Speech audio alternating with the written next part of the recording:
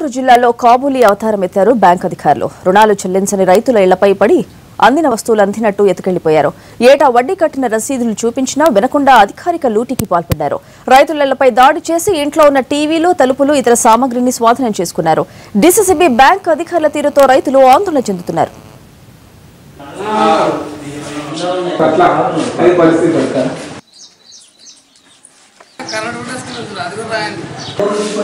అది